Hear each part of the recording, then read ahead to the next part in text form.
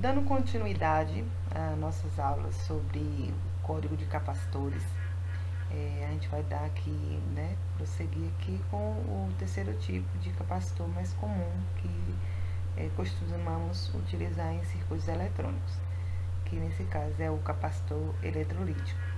Então, na última aula, né, eu falei para vocês sobre o capacitor de cerâmica e o de poliéster, e agora nesse, nessa segunda aula, nesse segundo momento, nós vamos estar vendo o capacitor eletrolítico, né, como é feita a sua construção, como é que ele funciona e como identificar os valores de capacitância nesse tipo de capacitor.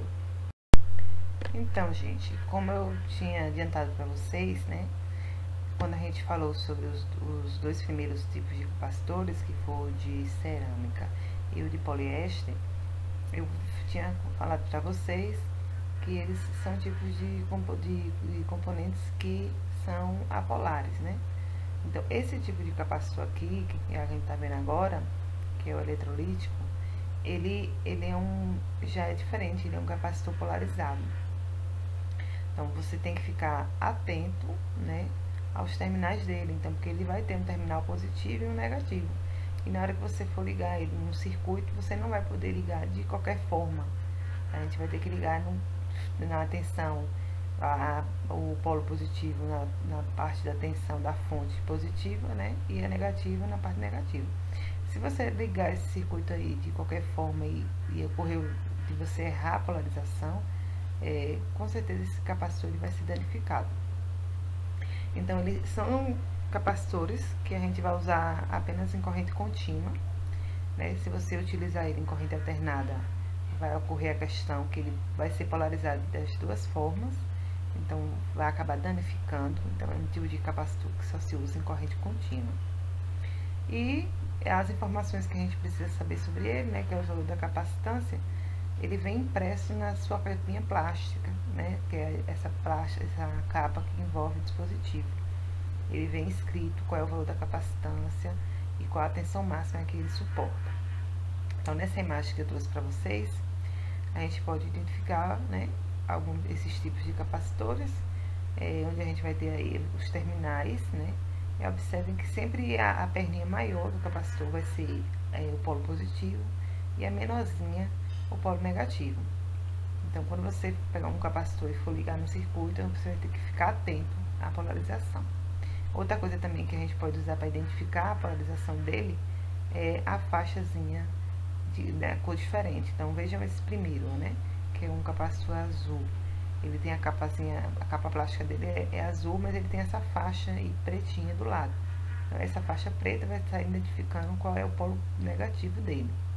Já no segundo e no terceiro, né, os capacitores, a, a capa plástica é preta e vem uma faixazinha cinza, né, meia cinza, meia branca, que é o que está identificando o polo negativo. Então, sempre a faixazinha que vem desenhada uma faixa de cor que vem impressa no, no, na capa do capacitor, ele vai estar identificando para a gente polo negativo. Então, tem que ter muito cuidado na hora de adicionar um capacitor em, em um circuito eletrônico. Então, porque inverter a polarização pode ser perigoso, já que o capacitor ele corre o risco de sofrer danos e até mesmo explodir, mesmo em condições que seriam adequadas para o funcionamento na polarização correta. Então, tem que ficar muito atento, porque geralmente acontece muito esse tipo de acidente, porque a pessoa não fica atenta e liga o capacitor de qualquer forma, né? Tem que ficar atenta à questão da polaridade. Eu trouxe essa imagem para vocês, para vocês é, olharem como é o aspecto construtivo do capacitor eletrolítico. Vejam que ele tem assim uma aparência né, de uma pilha. Então, parece muito com pilha, das pilhas que a gente utiliza em em alguns equipamentos eletrônicos. Então, gente, se a gente conseguisse ver internamente, ele é feito dessa maneira. Várias faixas, né? Estão aí em forma espiral, estão enrolados. E aí a gente pode identificar algumas partes dele, né? Então a gente tem o isolamento de plástico, essa parte de fora. E aí por dentro a gente tem as folhas. Então ali tem, tem uma metal, tem alumínio, tem o, o dielétrico, né? Que sempre a gente vai ter que ter o dielétrico entre as placas, que a gente viu já anteriormente. Tem que ter esse isolante. E temos também os terminais, que vai ser esse terminal negativo e o terminal positivo. Então, eu só trouxe mesmo para a gente ver como é a, a parte do aspecto construtivo desse tipo de capacitor. Então, é, é esse tipo de capacitor, ele tem assim vários tamanhos, né? Geralmente o valor dessa capacitância, quanto maior for o, valor, o tamanho dele, é, maior vai ser o valor da sua capacitância, né? E apesar de, e além disso, é, vocês vão ter que ficar atentos. Quanto maiores forem os capacitores, vocês têm que ter mais atenção na hora de manusear. Lembrando sempre a questão da polaridade, como eu falei anteriormente, que se você ligar esse capacitor de forma errada, não se atentando à polaridade dele, pode acontecer uma explosão. E aí se o capacitor for um capacitor grande, né, com alta capacitância, é, pode acontecer até uma, uma, uma, tragédia, né? Imagina uma explosão num capacitor com, com capacitância grande, com capacitor enorme. Então tem que ficar muito atento. Então eu trouxe aí para vocês essa imagem, né, de vocês verem tam, os tamanhos que tem os capacitores. Então a gente tem tamanhos enormes, a, bem pequenininhos, né, ver na, escala aí.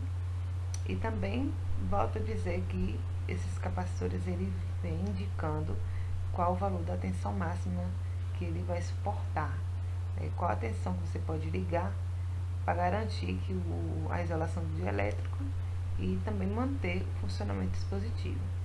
Então aqui nesse primeiro a gente tem uma tensão aí de 25 né, volts, no segundo a gente vai ter uma tensão de 200 volts, ele vai suportar, na terceira a gente tem 150 e por aí por diante. Então esse tipo de capacitor ele vem sempre especificando o valor da capacitância, certo?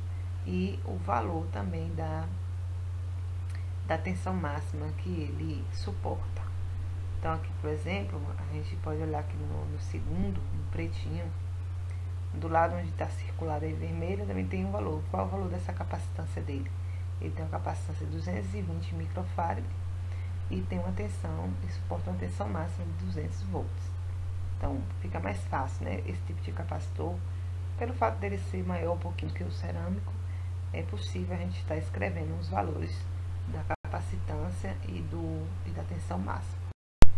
Como eu falei anteriormente, e volto a frisar, é, a gente tem que sempre estar atento à, à tensão máxima que o capacitor suporta. Né? Então, olhando pela imagem que eu trouxe aqui abaixo, nós podemos identificar que esse capacitor ele vem impresso nele o, valor da sua tensão máxima e além disso vem também falando o valor da capacitância. Então, nesse caso aí, ele está dizendo que a tensão ali, que ele suporta é uma tensão de 16 volts, a tensão máxima. Então, ela não significa que ele sempre vai estar em 16 volts, né? Ele pode ser ligado a menos, né? E a gente tem que ficar atento para não ligar uma tensão a mais que esse valor.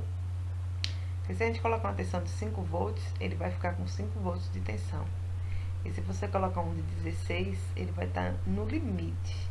E passando desse valor aí, ele fatalmente vai vazar ou vai explodir. Mas na frente a gente vai ver uma imagem que vocês vão ver como, é, quando é, como é que um capacitor fica. Quando você é, liga ele numa tensão maior do que a tensão máxima especificada no capacitor. Então, tem que ficar muito atento a esse valor. Então, e outra coisa que vem dizendo aí, né?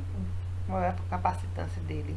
É esse 3.300 microfarad. É o valor da capacitância dele. Então, é mais simples a leitura de nesse tipo de capacitor, né? Porque ele já vem bem expresso, bem impresso no, no capacitor e a gente não tem dúvidas sobre esses valores. Então, veja nessa imagem que eu trouxe para vocês, né? eu falei que anteriormente eu vou mostrar a imagem a vocês como é que o capacitor fica é, no caso de você ligar o mesmo numa tensão superior do que a tensão máxima que ele suporta. Então, voltando a dizer, é importantíssimo a gente, é, na hora de polarizar um capacitor, ficar atento né, ao valor da tensão que ele suporta, porque em caso de, de sobreaquecer, ele esquenta mesmo, que já aconteceu várias vezes com, comigo assim, em laboratório a gente não ficar atento a essa questão, e o capacitor esquentar de uma tal maneira que a gente não conseguir nem tirar do circuito, tão quente que ele fica. É, e ele começa a inflar. Ele fica, tipo, incha, né? Porque ele quer aliviar a pressão interna, causa da temperatura que sobe muito, ele fica muito com a pressão interna muito, muito grande. E aí acaba que fica, tipo, ele infla, né? Fica inchado. Então vejam aí nessa figura que eu estou trazendo para vocês a diferença de um capacitor normal, né? Ele não foi, não tá, não foi comprometido. E a segunda, que é a direita aí, é um, já um capacitor que, que o chanfre de segurança ele foi inflado por condições impróprias de trabalho.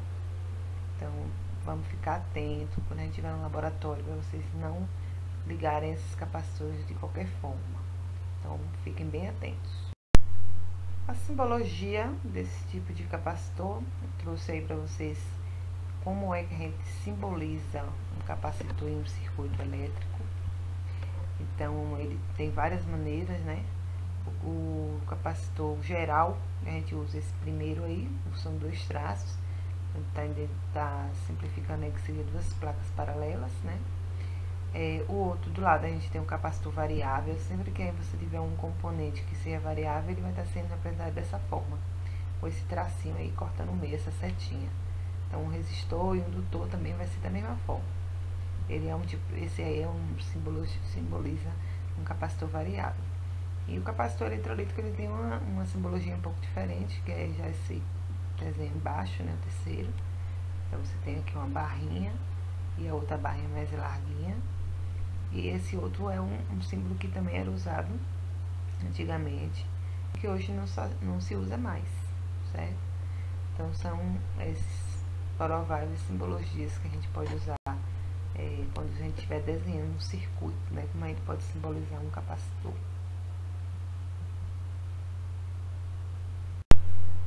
A gente é, até o momento esses capacitores, né? é, que vimos até agora são capacitores de, mais usados em circuitos eletrônicos, né? circuitos menores. Mas aí eu trouxe para vocês essa imagem para a gente ver também que existem capacitores de potência, né? que vão ser usados em cargas maiores. Né? Não é um circuitozinho tão básico como a gente costuma ver de circuitos eletrônicos. Então, trouxe essa imagem para vocês e essa primeira imagem também a gente conhece como um banco de capacitor, né? E o que é um banco de capacitor? Para que serve o banco de capacitor? É, esse banco de capacitor é muito usado em projetos que fazem é, fator de correção do fator de potência, né? Geralmente em lugares onde tem muita indústria, onde existem muitos motores ligados, é, você tem que fazer esse tipo de interferência que é fazer a, a correção do fator de potência, pela questão da potência reativa que é lançada no sistema elétrico, né, e que aí seria prejuízo para a concessionária. Então a empresa vai ter que estar tá fazendo esse tipo de, de correção de fator de potência. E é usado aí, então, os capacitores de potência, né, que são conhecidos no caso aí como um banco de capacitores. Isso vocês vão estar estudando mais na frente o que é esse fator de potência, como é que acontece, como é que faz a, esse tipo de correção usando, usando o banco de capacitores. Então é isso. Bem, então chegamos é, ao fim de mais uma aula, né? Essa aula não foi tão é, extensa, era um pouco mais curta, porque foi a ficou só faltando falar um pouco sobre esse tipo de capacitor, né? Mas na próxima aula acredito que vai ser um pouquinho mais extensa, porque a gente vai estar tá vendo como é que é feita a associação de capacitores, ok? Então, até a próxima aula.